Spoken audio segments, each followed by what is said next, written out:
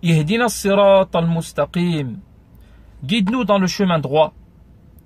C'est-à-dire, montre-nous, oriente-nous et mène-nous à la voie de rectitude qui est claire et qui conduit à Allah et à son paradis, celle de la connaissance de la vérité et de sa mise en pratique. Guide-nous donc vers le chemin et guide-nous dans le chemin.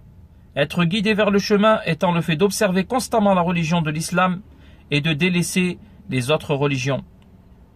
Et être guidé dans le chemin englobant l'orientation sur tous les aspects de la religion, que ce soit en termes de connaissance ou de pratique. Ainsi, cette invocation est la plus complète et la plus profitable pour le serviteur. C'est pour cela qu'il incombe à toute personne de la réciter dans chaque unité de prière en raison de la grande nécessité envers celle-ci. Ce chemin étant le chemin de ceux que tu as comblés de faveur, parmi les prophètes, les véridiques, les martyrs et les pieux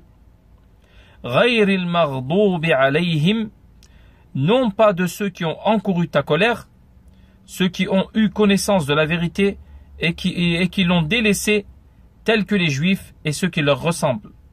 Voilà ni des égarés qui ont délaissé la vérité par ignorance et par égarement, tels que les chrétiens et ceux qui leur ressemblent.